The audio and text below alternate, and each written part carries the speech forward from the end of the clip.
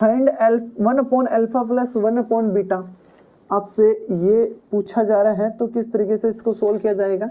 आप इतनी बात जानते हो कि सर इनका एलसीएम लूँगा तो अल्फ़ा बीटा आएगा और ऊपर आएगा अल्फ़ा प्लस बीटा तो सर अल्फ़ा प्लस बीटा की जगह में क्या लिख दूँ? अल्फ़ा प्लस बीटा की जगह लिख दूँ sir minus B by A और इसकी जगह क्या लिख दूँ? सी बाई ए यहाँ ए से कैंसिल हो रहा है तो सर ये माइनस बी बाई सी बन रहा है। हाँ तो ये माइनस बी बाई सी है आपका। ये सही है। ये one upon alpha plus one upon beta है। ध्यान से सुनिएगा one upon alpha plus one upon beta की वैल्यू क्या है? इसकी वैल्यू है ये तो सर एक आपने आगे और क्वेश्चन लिखा है, इसका क्या जवाब होगा? आगे वाले क्वेश्चन का जवाब होगा one upon alpha cube plus one upon beta cube ये प्रॉपर्टी है, आप डायरेक्ट याद रख सकते हो इनको।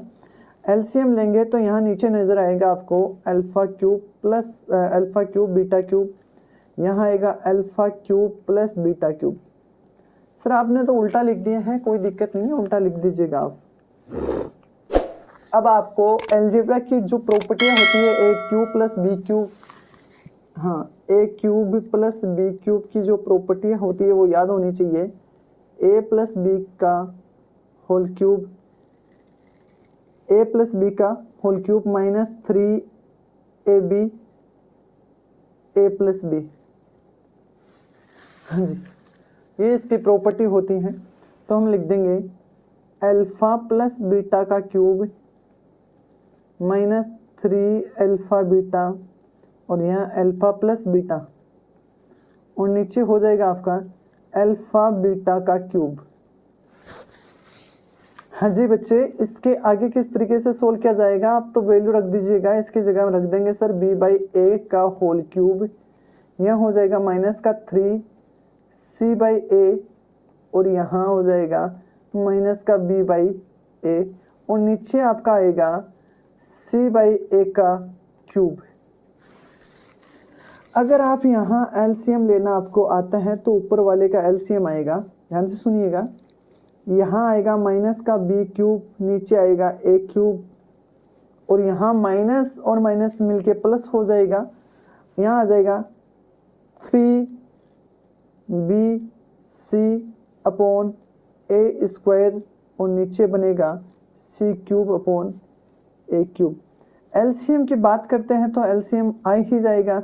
एलसीएम आएगा बी क्यूब एलसीएम आएगा आपका ए क्यूब यहाँ आ जाएगा plus three A B C नीचे C cube upon A cube A cube से ए क्यूब कैंसिल हो जाएगा तो ये बनेगा three A B C minus B cube upon C cube ये आपका आंसर हो गया है भाई। यहाँ कोई समस्या है तो आप बोल सकते हो। यहाँ कोई समस्या है तो आप बोल सकते हो। है ना? हमने पत्ते खोल दिए हैं तक तक से। यहाँ हमने अपने फॉर्मूले लगा दिए हैं फॉर्मूला अप्लाई किए हैं और फॉर्मूला अप्लाई करने के बाद हमने वैल्यू रख दी है। वैल्यू रखने के बाद हमने सिंप्लीफाई कर लिए है इसको और सिंप्लीफाई करने के बाद तुरंत आंसर आ गए हैं। यहाँ हम इसको सोल्व करेंगे तो एलसीएम सर बोलोगे अल्फ़ा बीटा आएगा। ये इससे मल्टीप्लाई होगा अल्फ़ा क्यूब आएगा। ये इससे मल्टीप्लाई होगा बीटा क्यूब आएगा? ऊपर वाली वैल्यू चेंज नहीं होगी, नीचे वाली वैल्यू चेंज हो जाएगी।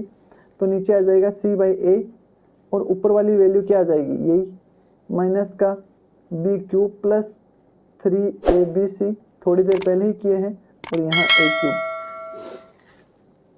तो इसका थोड़ा सा सोल्व करेंगे तो ये नज़र आ जाएगा आपको। क्या नज़र आएगा? कि माइनस का B cube plus three A B C और एक इससे ये काट दीजिएगा तो यहाँ स्क्वायर बचेगा तो ये होगा upon A square C A square C थोड़ा इजी है, कोई बड़ी भारी बात नहीं है हाँ जी, जो तीन क्वेश्चन पार्ट थे आपके सेकंड क्वेश्चन के हुँ?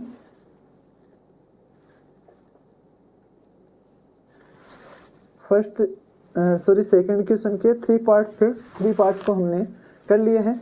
सबसे इम्पोर्टेंट चीज़ है ये कि आपको समझ में आना किस तरीके से सोल्व किया जाता